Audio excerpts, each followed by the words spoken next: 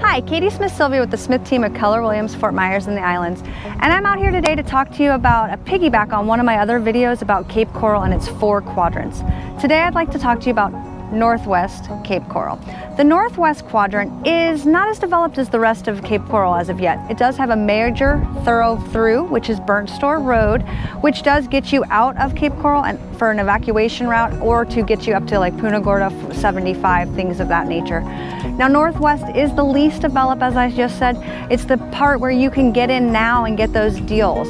So we've got freshwater and Gulf access canals available. We have bike paths, parks. Speaking of parks, we've got a really cool park in the Northwest that a lot of people don't know about called Seahawk Park. If you have those little model airplanes, you can join and you can get out there and fly and practice and, and be in regulations and rules. So that's one of the cool parks that's there. They're talking about an amphitheater. We've got Tropicana Park coming in for those kayakers. Lots and lots of canal access for kayaking and boating.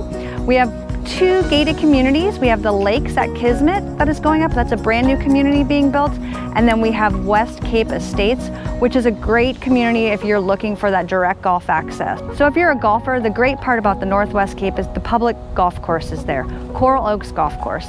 You can get out there and play around, or if you have children, they do have summer camps available. So if you're looking to be a little bit more on the developing side or get in while the prices are still good and get a new house or even a resale, why don't you give me a call at 239-789-5351. You can email me at smithteamswfl.gmail at gmail.com, excuse me.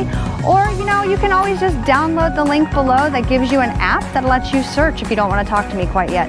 Look forward to hearing from you all. Hope you found this helpful and have a great day.